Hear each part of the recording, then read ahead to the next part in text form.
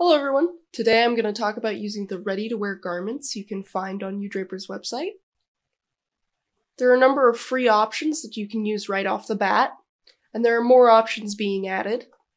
If an item has an, this asterisk beside it, that means that it contains the Draper pattern, as well as the 3D file.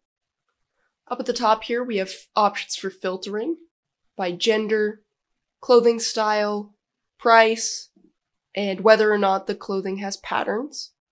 Opening up this dress, I can show you a little bit more of the information that's here.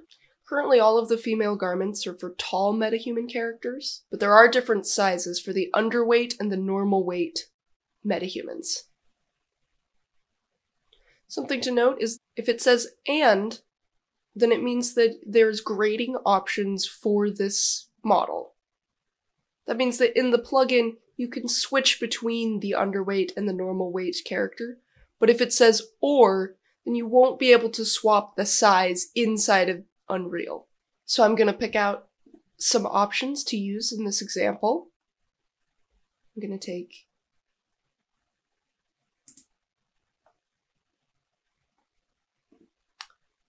need to look for a top. Take this black option.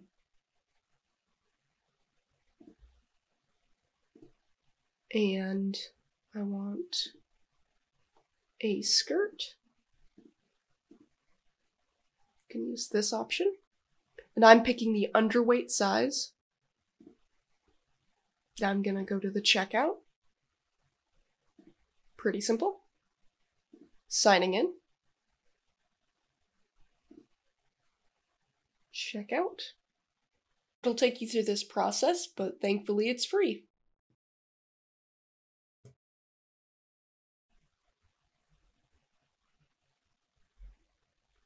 Then I'm going to click continue shopping.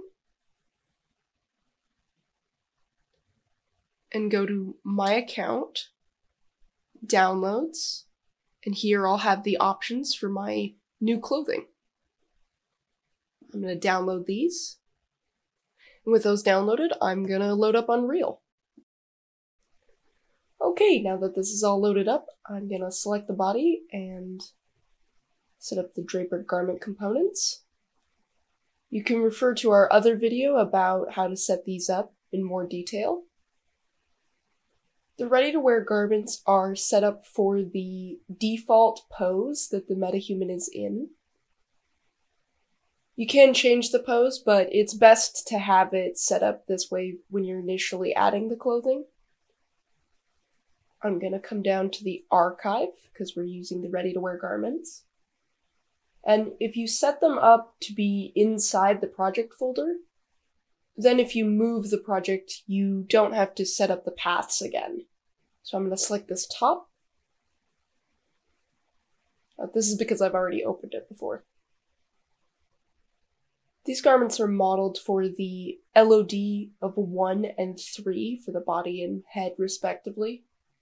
If you have a different LOD or you're using one of the simplified meshes or your character has shoes without feet, then you might get a pop-up that'll give you an option to use the UV mapping to wrap the garment. If your character has the same UVs as a metahuman, then you can just use that option to get it quickly wrapped. But if not, then you can just decline that and do the fitting manually via the simulation.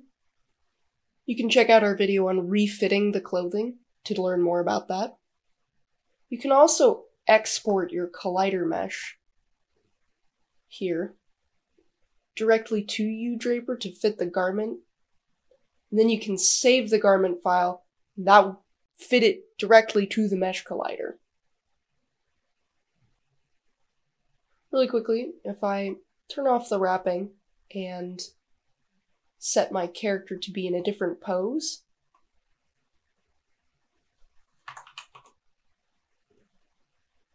You'll see that the clothing will not be attached to the character.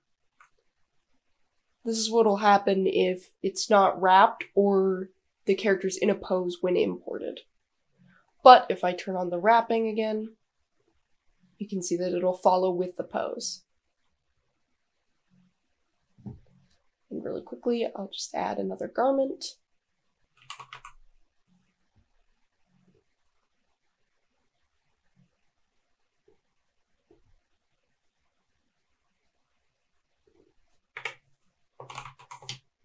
Top and skirt. Sure, it can be lowercase, why not?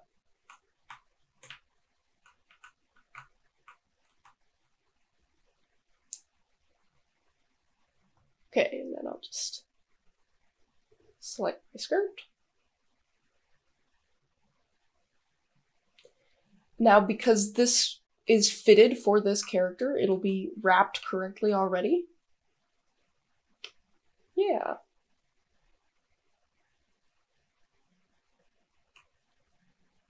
But if I, again, turn off the wrapping, it will be in the default pose. And if I, with that off, if I take the pose off, it'll actually be wrapped correctly. There will also be a new A pose in the latest update that'll be for dressing the character in uDraper, and we'll cover a little bit of that when it comes out. If you have a character that is a different size and it's applicable, you'll have an option for grading. So with this, you can select different sizes, and we've actually found that 0.95 is about the right height if you are going from a tall character to a normal character. I'm actually going to pause this and download an average metahuman character. Okay, we now have a character that has the Draper garment set up, and I can now add the clothing. keeping in mind that this clothing is for the wrong size for this character. This is a normal size, and this clothing was for a tall character.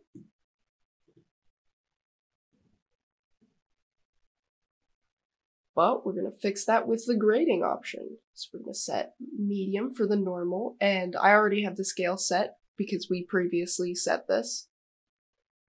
And then checking the skirt, setting it to medium also need to set this one to 0.95.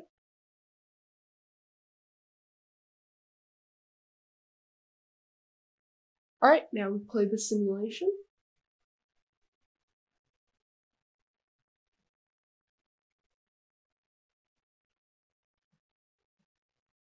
Now, I am a fan of turtlenecks. However, that's not the look we're going for for this character. Fortunately, this is easy to correct. What we need to do is select the garment uh, down here. And now we need to make sure that it isn't wrapped. And then we can drag this down. And then the same thing with the top.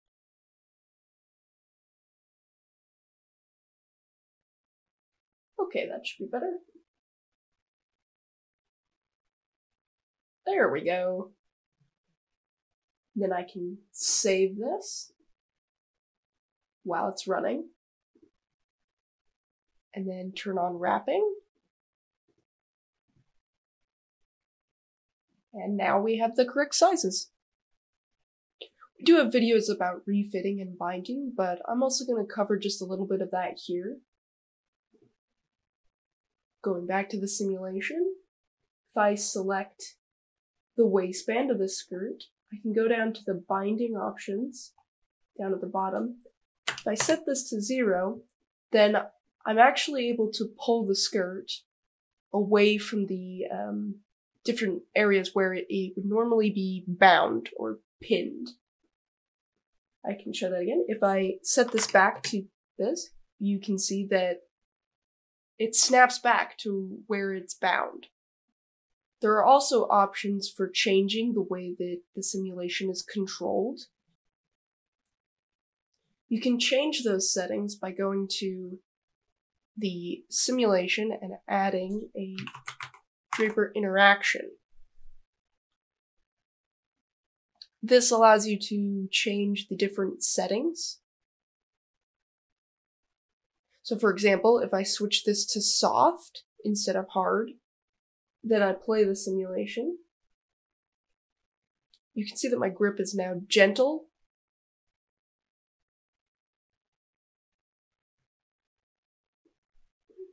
But if I hold down shift, I have the hard grip again.